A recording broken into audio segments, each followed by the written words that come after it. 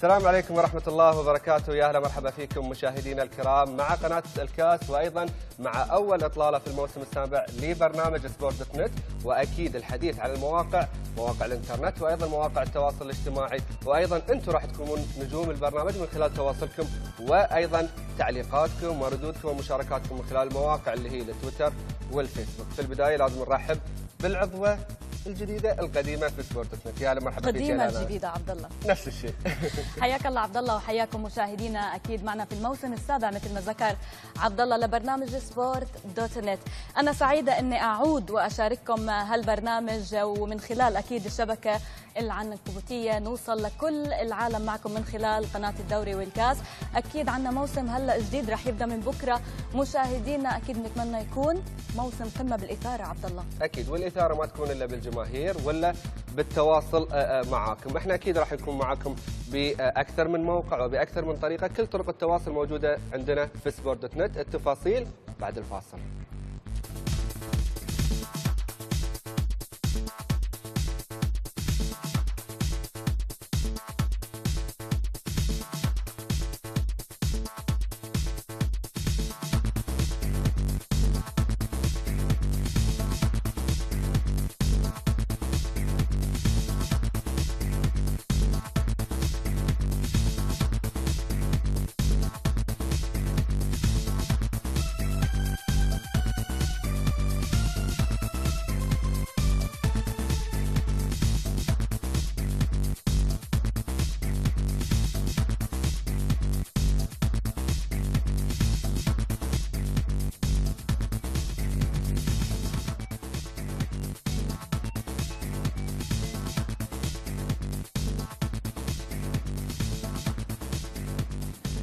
إذا نفس ما شفتوا معنا مجموعة من أبرز ما سيكون في حلقة هذا اليوم الحلقة الأولى في الموسم السابع لسبورت دوت نت. ونفس ما ذكرت لانا؟ موسم جديد راح يبتدي بكرة.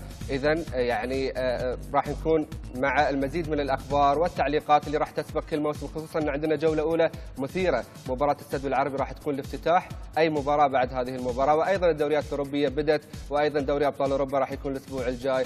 العديد من الأخبار والتعليقات أكيد راح بالفعل عبد الله لكن قبل ما نبدأ بتفاصيل هالحلقة لازم نخبر مشاهدينا كيف ممكن يتواصلوا معنا آه، ببرنامجنا Sport Dot Net عنا آه، قنوات التواصل.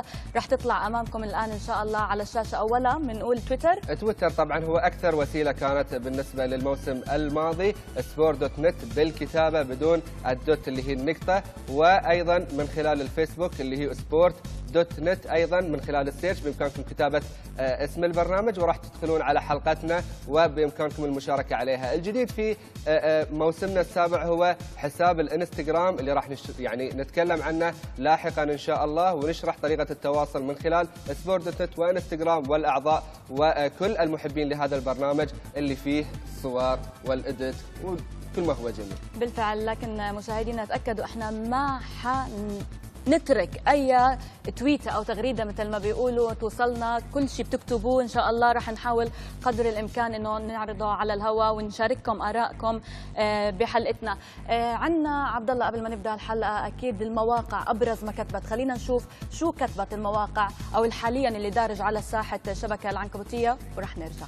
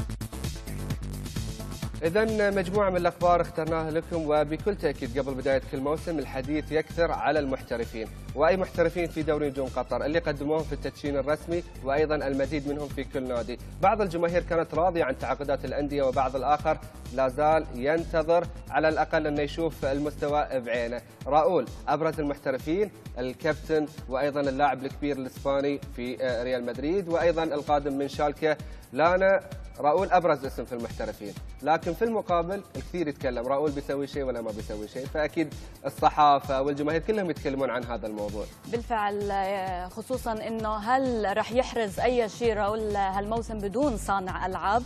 لأنه بقول لك نعم. هو بيبرز دائما من خلال صانع الألعاب. نعم. وهالسنة عنده بالسد ما في معه صانع ألعاب. راح نشوف طبعا لعيبة السد المميزين. لأن يمكن انت حضرتي حفل التدشين نعم. شفت النجوم. بما أن إحنا نتكلم عن المحترفين شفتي تفاؤل يعني من خلال التصريحات؟ لأن كان في على ما آه، آه، عرفت أنه مؤتمر صحفي وكان في حديث بين اللاعبين. متفائلين اللعيبة؟ حسيتي من كلامهم إنهم راح يقدموا شيء؟ بالفعل كانوا متفائلين وغير هيك متحمسين وبينهم تنافس. يعني كل واحد بقول أنا رح أبرز أنا رح أقدم آه، الأحسن لفريقي.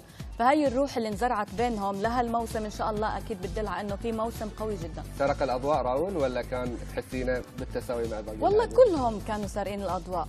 يعني كله كل واحد أعطوه اللجنة المنظمة كانت للحفل أعطت كل لاعب حقه.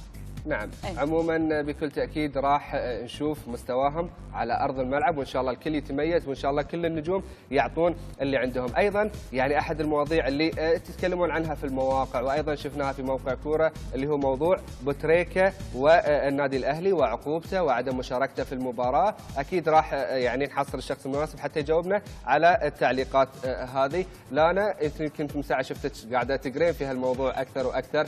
فيا ريت حتى تبررين أنا أنا اللي لفت انتباهي يا عبد الله في موضوع أبو تريكا الألتراس. طبعا الألتراس هم مشجعين النادي الأهلي آه، مشاهدينا. آه، عملوا حركة. كيف حركة كانت؟ سامسونج آه، مع أبل ردوا لهم المبلغ بال coins.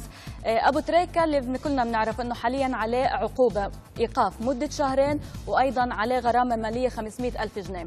جمهور الألتراس حبا في أبو تريكا وردا على النادي الأهلي قرروا يجمعوا 500 ألف جنيه كوينز من بعض ويردوها يدفعوها للنادي الأهلي كغرامة آه، مفروضة على أبو تريكا أنا